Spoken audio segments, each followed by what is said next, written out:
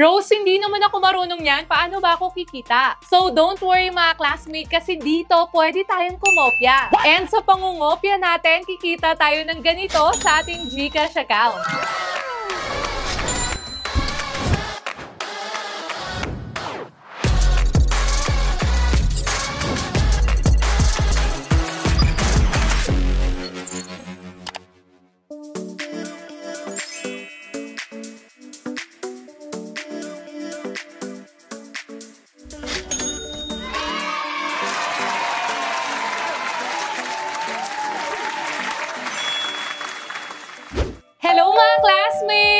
Welcome back to my channel. Ako nga po pala si Rose.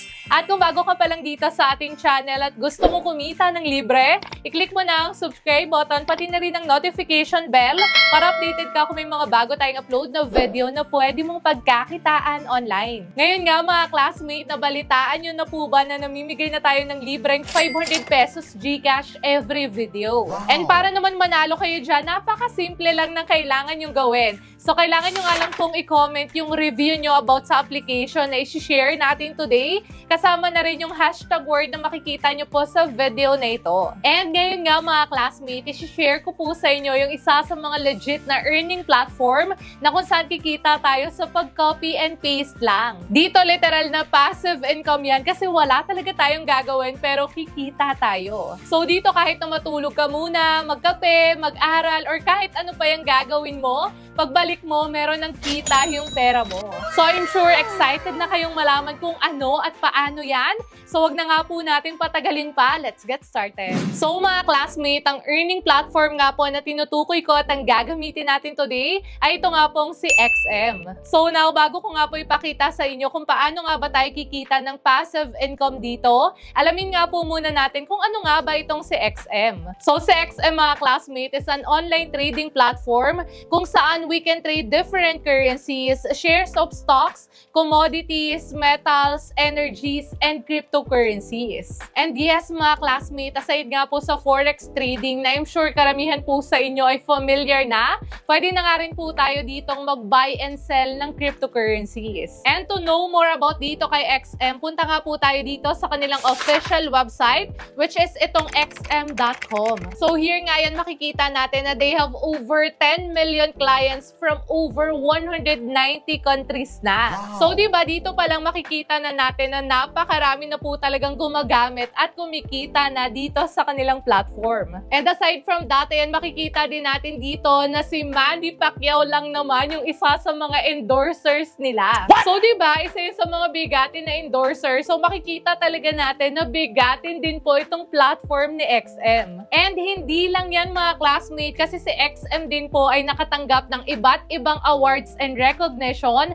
from different financial institutions. So here sa kanilang website, makikita natin yung iba't ibang awards na na-receive ni XM such as Outstanding Customer Service Global, Best FX Service Provider, ayan, Best FX Customer Service, Best FX Broker Europe, and also here in Australasia, Latin America, Middle East. So, di ba, hinakot na nila lahat. And ayan, makikita rin natin dito yung iba't iba pang awards na na-receive nila in the past years. So, di ba, ang bongga talaga nitong platform na to. And dyan pa lang makikita na natin na hindi basta-basta po itong si XM. And by the way pa lang, maganda dito mga classmate, meron na silang available application for Android and Apple users. So, mada-download na nga po natin yan sa Play Store and App Store. So, pwede na nga natin gamitin yung platform nila gamit ang ating cellphone, laptop, or desktop. Aside from that, maa-access nga po natin itong si XM Online. So, pwede nga po natin siyang gamitin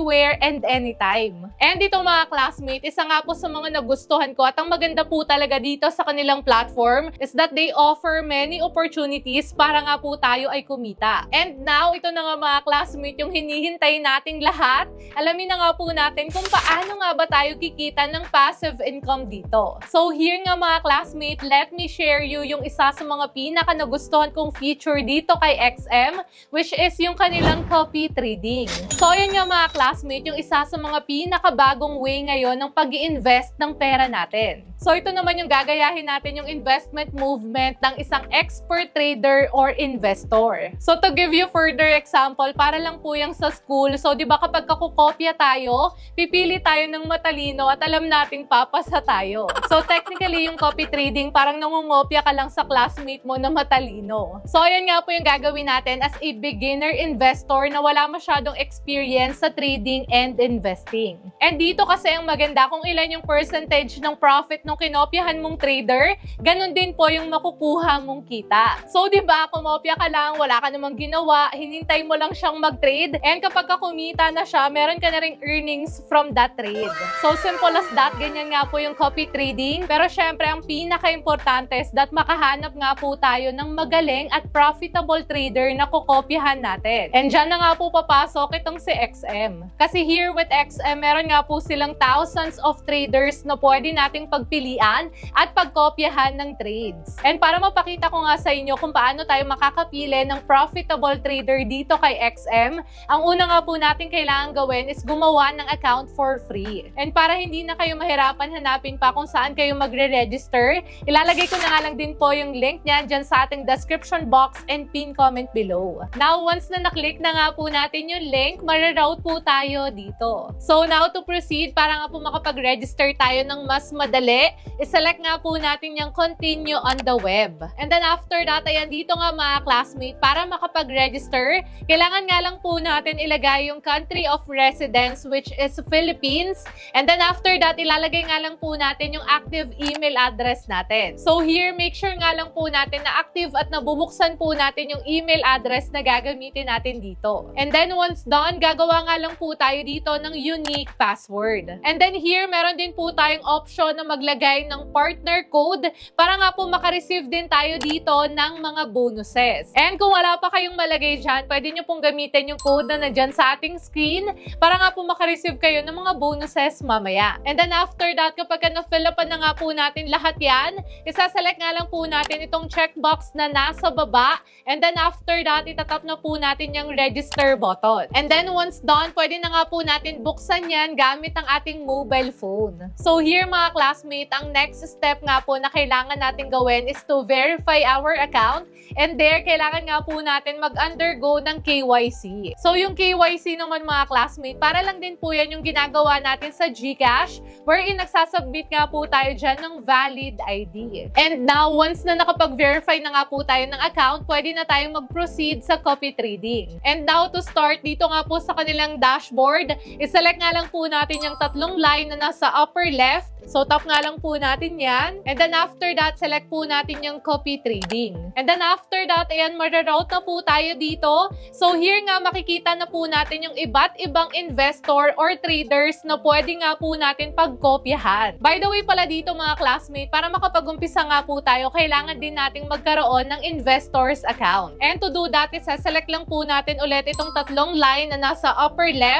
So, tap nga lang po natin yan. And then after that here, itatap nga lang po natin yung create investor dito nga po sa baba. Once done, meron nga pong magpo-prompt na ganito. So, itatap nga lang po natin yung checkbox na yan. And then, isa-select na po natin itong create investor account. And then, once done, ayan, easy as that, meron na nga tayong investor account dito. And now, ayan na nga, since meron na nga po tayong investors account, pwede na nga po tayo makapag-start mag-copy ng trade dito. So, now naman, syempre, para makapag-copy tayo, kailangan po muna natin pumili ng trader na profitable na kung saan talaga pong kikita yung pera natin. And dito naman mga classmate na maganda, meron nga po silang tinatawag na filter na kung saan pwede nga po natin piliin kung ano yung preferred natin na trader. So yung filter na yan, makikita po natin dito sa may upper right side. So itong icon na yan, so tap nga lang po natin yan. Then after that, yan, meron tayong makikita dito na trading frequency which is meron pong low, medium, or high. So for low, ayan nga po yung mga traders na nagtitrade ng 1 to 4 trades lang per day. For medium naman, ang trades po niyan per day is around 5 to 9 trades. And for high, ayan naman po yung mga nagtitrade ng more than 10 trades per day. And now for risk score naman, dito natin makikita kung gaano ka-aggressive yung trader. So syempre kapag ka mas mataas yan, mas aggressive nga po yung trader na pipiliin natin. And for the fees naman, dito ayan maganda rin na pwede tayong pumili ng fees kasi depende nga po sa trader kung ilan yung fees na binibigay nila. So here ang minimum is 5% and ang maximum naman is 50%. Aside from that, pwede rin tayong pumili ng minimum investment. So dito pwede tayong pumili ng $50 to $1,000. And syempre ito, magdedepende po yan sa inyo kung magkano yung gusto nyong i-invest. And aside from that, and meron din ditong strategy type. So merong human, algo, and supervised algo. So ito yung maganda kasi meron talaga tayong option yan. Kasi for human, tao po talaga yung nagtitrade dyan. And for algo, yan po yung mga bot. And for supervised algo naman, both naman po yan, meron pong intervention ng human. And also, ito yung maganda, pwede rin tayong pumili ng categories. So, syempre, kung gusto nyo Forex yung kopyahan ninyo, indices, crypto, algorithmic, and commodities, ayan, pwede tayong mamili. So, for me, Forex nga po yung kopyahan natin. And ang piliin natin dito is itong human. And ayan, setup lang natin yan. So, try natin itong medium. So, after that, isa-select na po natin yung save button. And then, after that, ayan, lalabas nga po itong mga traders na pwede nating pagpilian. And now, ang next naman na gagawin natin dito is pipili naman tayo ng trader na merong magandang return. So, syempre, di ba, gusto naman natin kumopya tayo dun sa magkakaroon tayo ng profit or earnings. So, here sa statistic ng trader, makikita na po natin yung return niya. Ito pong nasa upper right. So, yan mga classmate, like for example, itong si Gold Future, yung return niya in 1 million is 174.76%. So, di ba, ang laki ng return na pwede natin makuha dito sa trader na ito. Aside from that, for me, ang isa sa mga pinaka-importante din na kailangan natin i-consider dito is yung risk. And makikita or malalaman nga po natin yan dito sa tinatawag na drawdown. So, to explain that, like for example, ito let's say Gold Future, meron nga po siyang drawdown na 31%. So, let's say meron tayong $100 dito and since 31% ka po yung drawdown niya, ibig sabihin pwede nga pong mabawasan or mag-loss yung $100 natin ng 31%. Pero take note lang na yun nga po ay paper loss lang. So, ibig sabihin kahit mag-loss pa yung pera natin ng 31% dito, hanggat hindi nga po natin pinupull out yan, hindi po mababawasan yung pera natin. So, pwede pa nga mag-reverse yung market and kumita tayo from that trades. So, technically here, mas maliit yung drawdown, mas maganda. Kasi kung mataas yan, pwedeng ma-wipe out yung pera natin. So, now, let's say, nakahanap na nga po tayo ng trader na gusto nating kopyahan. So, for me, like itong si Gold Future, so itatap nga lang po natin yung copy button. And then after that, ayan, makikita na nga po natin yung minimum investment which is $100. Aside from that, meron nga din pong details dito such as investor account, equity, and own funds. So now, syempre, para makapag-copy tayo dito, kailangan meron tayong available balance which is at least $100.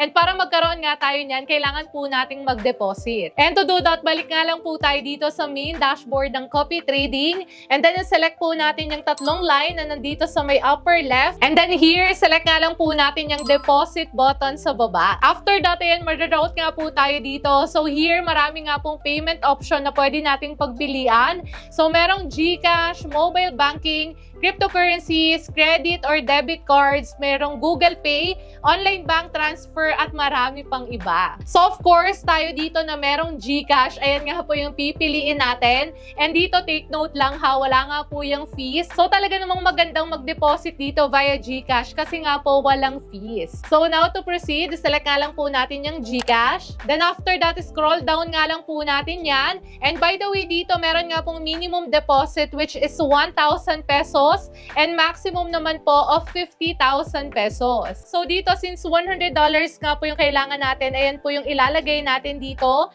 And then after that, ayan, ma-auto-compute na po siya into peso. So once done, itatap na po natin yung deposit button. Then after that, ayan, ma-route tayo dito. So tap nga lang po natin ulit yung confirm button. And then ayan, after that, mapupunta po tayo dito. So kailangan lang natin i-provide yung information na kailangan para nga po makapag-top up tayo. And by the way, ito mga classmate, don't worry kasi talaga namang legit po itong platform na ito. So okay lang pong mag-provide tayo ng GCash information natin. And then ayan, so once na nalagay na po natin yung GCash number natin, mariroute po tayo dito. So select nga lang po natin yung click here to open GCash app. And then once done, ayan, mariroute nga po tayo dito. So nandito na nga po yung amount ng equivalent ng $100 which is 5,757 pesos. So dito lang din, make sure nyo po na meron tayong available balance para makapag-proceed tayo. So now, once na okay na, itatap na po natin yung next button. Then here, confirm nga lang po natin yung information, then tap po natin yung send button. And ayan, so once done, kapag ka nakapag-deposit na nga po tayo, balik na po tayo kay XM. And ayan, so ito na after a few seconds lang, papasok na po yan dito sa ating balance. And now, since meron na tayong balance, pwede na tayong makapag-start mag-copy trade dito. And now, to copy trade, hanap nga po tayo ng trader na gusto nga po nating kopyahan. So tayo dito, ang piliin natin is ito pong si Bamboo IXIC. So meron nga po siyang 63.22% return and zero nga po yung drawdown niya and meron yung fee na 25%. So to proceed, select nga lang po natin yung copy button. And then after that, dito, ayan as you can see, yung minimum investment niya is $100.